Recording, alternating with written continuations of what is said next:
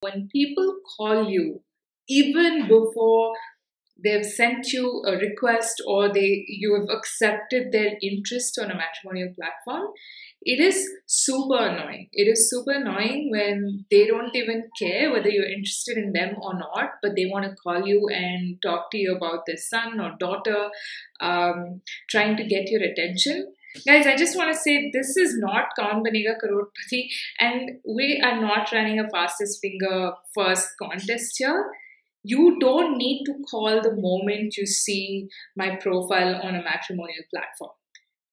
The platform allows you to send a request. To, to express an interest and say, hey, I like your profile.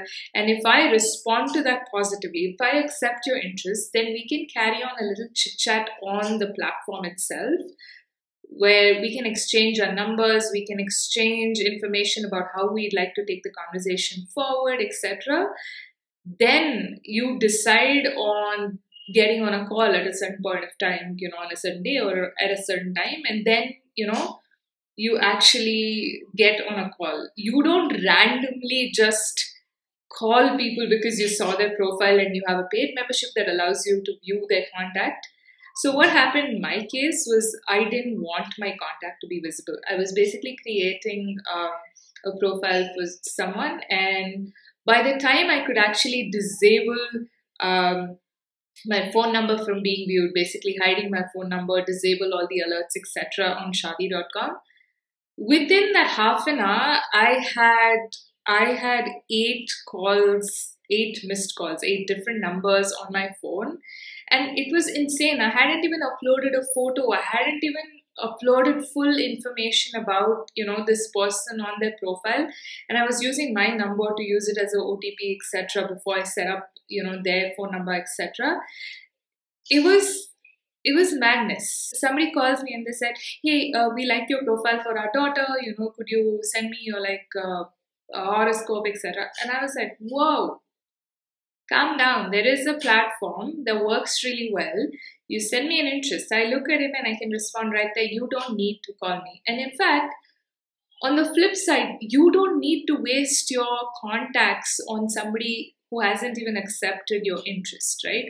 Essentially, when you look up somebody's number, that contact is wasted because you're assigned, let's say, 75 contacts, so 150 contacts for the amount that you've paid and you're just exhausting it on people who are not even interested in you. Why why would you do that right?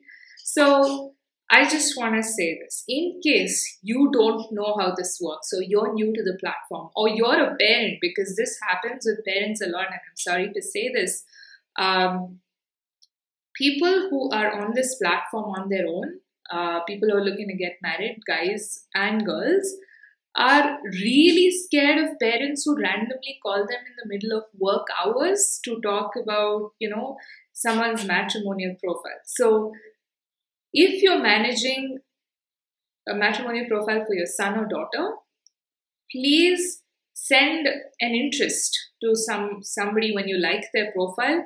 Allow them to respond to that interest. You may see that they've seen the profile but you know they've chosen to reply later or they've rejected that all means something. That means they're not interested. That means they need time. Like, you need to understand that. You need to understand what it signals and not call them directly, right? They will respond to you. Now, in what situations should you see a contact number and actually get in touch? Okay, that's a question that I get asked a lot. So, if you sent them an interest, they accepted an interest, and nothing's happened for a while, right? There has been no exchange of uh, uh, conversation after that for a while. It is possible that the person you've expressed an interest in may not have a paid membership to take the conversation forward, right? It is possible. In which case, you can view their contact information and send them a text message on WhatsApp saying, hey, we connected. This is, you know, um, my profile ID. Uh, if you're interested to have a conversation, you know, please let me know how you'd like to take things forward, right?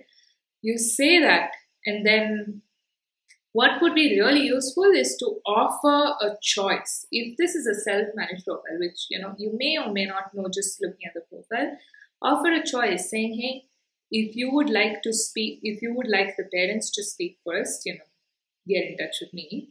Um, but if you would like to speak to my daughter or son directly, you know, this is their number or let me know, something like that.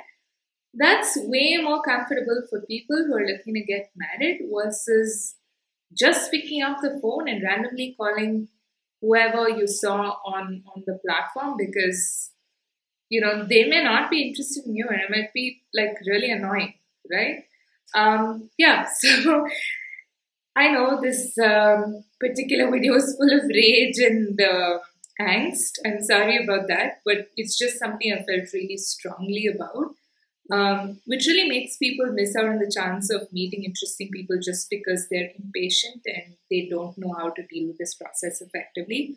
So I hope uh, this was useful and this will help you in the future in connecting with relevant matches.